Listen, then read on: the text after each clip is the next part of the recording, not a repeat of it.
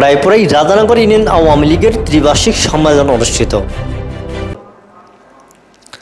নরসিংদী রায়পুরায় রাধানগর ইউনিয়ন আওয়ামী লীগের ত্রিবার্ষিক সম্মেলন অনুষ্ঠিত। আজ বিকেলে Gokulnagar Abeda Fazlu school and college মাঠে অনুষ্ঠিত সম্মেলনে মোহাম্মদ মোহর আলীকে সভাপতি এবং হরিদাস বিশ্বাসকে সাধারণ সম্পাদক ও নিরঞ্জন কুমার দাসকে এক নং যুগ্ম সাধারণ সম্পাদক হিসাবে নাম ঘোষণা করেন উপজেলা আওয়ামী লীগের সভাপতি বীর মুক্তিযোদ্ধা মোহাম্মদ আফজাল হোসাইন। এ সময় প্রধান বক্তা হিসাবে বক্তব্য রাখেন উপজেলা পরিষদের চেয়ারম্যান বীর মুক্তিযোদ্ধা আব্দুল সাদেক।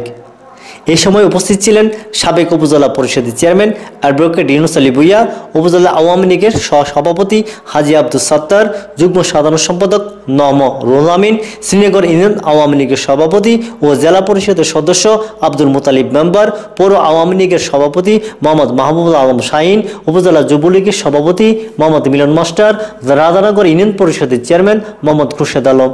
তপন মরজাল ইউনিয়ন পরিষদের চেয়ারম্যান সানজিদা আক্তার নাসিমা, চান্দ্রিকান্দি ইউনিয়ন পরিষদের চেয়ারম্যান মোহাম্মদ খুরশেদ আলম মিটু, মির্জাপুর ইউনিয়ন পরিষদের চেয়ারম্যান মোহাম্মদ আসাদুল্লাহ বুইয়া মুসাফর ইউনিয়ন পরিষদের চেয়ারম্যান মোহাম্মদ হোসেন বুইয়া সাবেক উপজেলা ছাত্রলীগের সাধারণ সম্পাদক মোহাম্মদ রিয়াজ মুর্শিদ খান রাসেল সহ অনেকে।